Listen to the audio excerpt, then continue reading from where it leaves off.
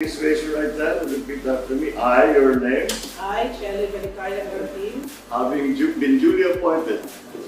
to the position of your position, having been duly appointed to the position of Secretary of Presidential Communications Office, do hereby solemnly swear do hereby solemnly swear that I will well and faithfully discharge, that I will well and faithfully to the best of my ability, to the best of my ability the duties of my present position the duties of my present position.